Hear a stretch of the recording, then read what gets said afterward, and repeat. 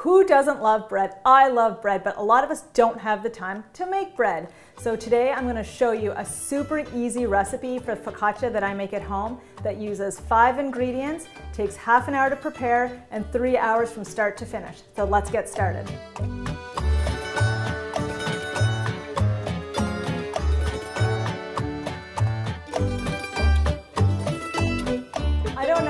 But I love bread. I love bread with all my meals. I love bread in the morning. I love bread as a late night snack. And I especially love focaccia because it sometimes has those like crispy edges and it's kind of oily, which I actually really love. And today's recipe is like another Bon Appetit recipe that I've taken and made my own. Um, and to start, the first thing we need to do is proof our yeast. So I have two and a half cups of warm water. Make sure it's not too hot, not too cold. You don't want to kill the yeast, but you also want to make sure that it blooms. And yeast loves sugar. So what I have is two teaspoons of sugar that I'm going to put in my two and a half cups of warm water. Uh, you can also use honey. And I have two and a quarter teaspoons of dry active yeast. What's the difference between fresh yeast and dry active yeast? Fresh yeast comes like in a like in a block, Doug, like a cake block. Um, and you have to keep it in the fridge and it has like a really like short shelf life. Uh, we used to use it at work a lot, but now we use dry active just because it makes life a little bit easier. Um, I'm not a baker, so we'd have to ask a baker. We may have to bring Bailey on to talk about yeast. I just know that yeast goes in bread. I'm just gonna mix it. And this is the fun part that I like to do is I like to watch it sort of come alive as it like bubbles and comes up to the top. Now that we know that our yeast is alive, I'm going to transfer it into this very large metal bowl. I don't know about you, but I know that I've often baked things that call for yeast, and I didn't check to see if my yeast was alive, and then when I went to bake it, it was very flat and sad. As for the flour, there's all-purpose, and I'm also using some Italian double zero. You can, and I have, done the focaccia 100% all-purpose. I've done it 100% double zero. But for me and for my family, we really like it when I make it like half and half. So I'm going to do, um, um, I know, Doug, you love watching me measure stuff. Yeah, you're always uh, the queen of measurement. The queen of measurements. I'm going to do two, because it's five cups flour total. I'm going to do two, I'm going to do two of all-purpose. How about that? I'm gonna do two of all-purpose, and I'm gonna do three of double zero, Doug. How about that?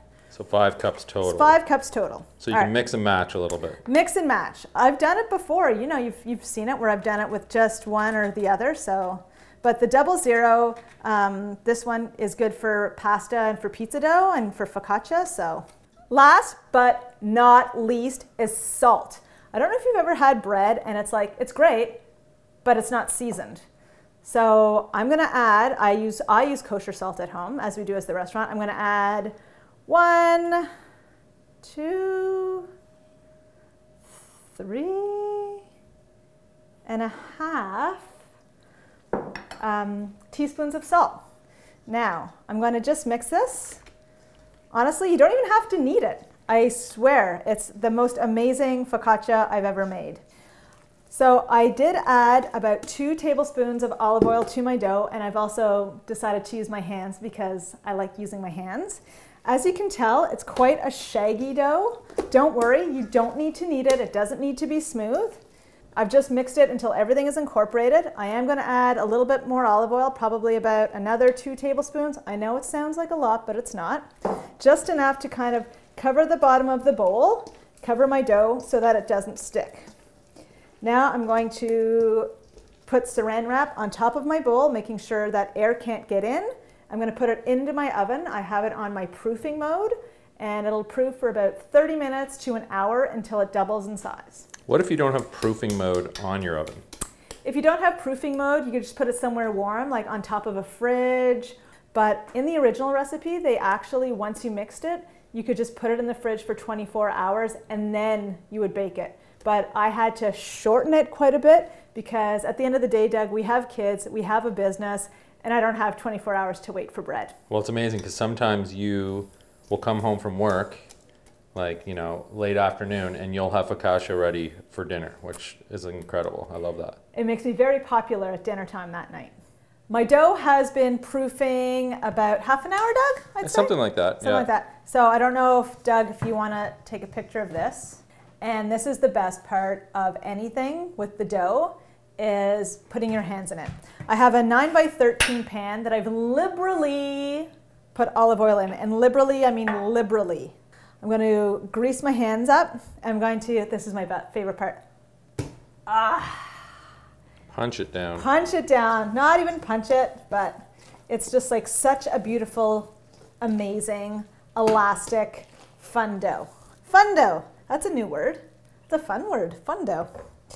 So I'm just going to stretch it so that it fits into my pan.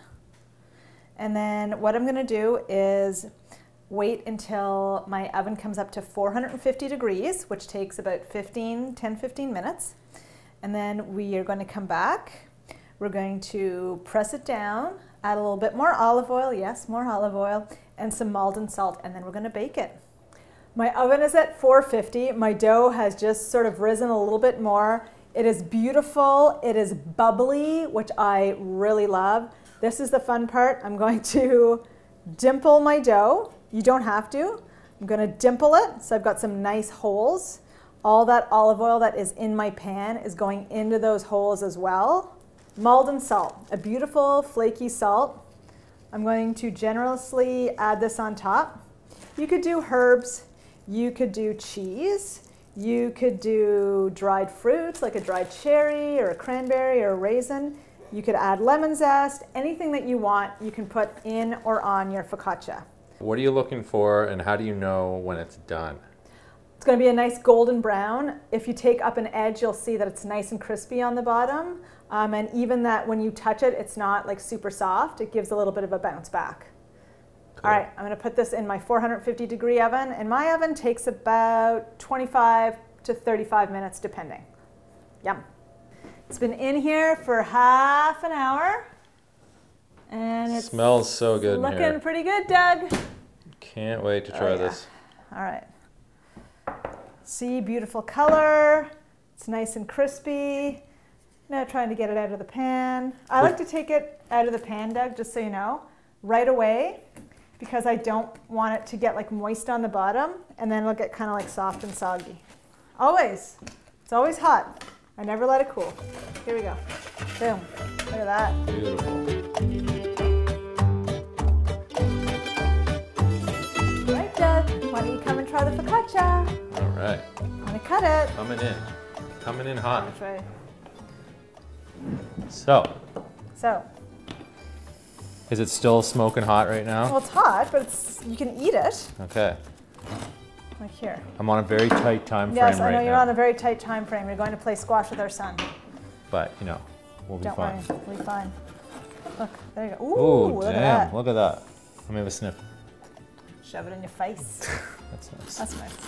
Look, there you No, go. but you know what? This is so good, and it's like, I find when you make this, it actually holds up really well the next day, well, it's perfect the next day for toast. if not better sometimes. And I also find Mm. that in a few days, oh, this is the crunchy crispiness. Um, oh yeah, perfect. In a few days, if you still haven't eaten it all, which is unusual, it does make awesome croutons too. Yeah. So For a crouton salad, as my son calls it, yeah. which is basically Caesar salad. You know, this is a great version of focaccia. The one that we make at work is definitely quite a bit different than this. Um, but as far as like a home version, which you can whip up in a few hours, I love this recipe. this Um, has been a godsend, like during COVID and like for the past year. yeah, it's amazing. It's like so easy for me to make at the end of the day, and everybody's happy when they like they like to get hot bread. It's awesome. Well, Okay, well, thank you guys. thank you. Another episode down. This one wasn't as healthy as the last few, maybe. I don't know. Doesn't matter. Who cares? I'm not sure. But it just goes to show that making bread from scratch is super easy. If I can do it, and I'm not a great baker, then anyone can do it. Thanks, folks. We'll be in touch soon. Stay tuned. Until the next time, Till the next time. toodaloo. Toodaloo. all that All right. kind of weird All right, stuff. Doug. What did Go the play ur- squash. what did the urban peasant used to say? Toodaloo. All All right, thanks guys. We'll see, See you soon. Bye.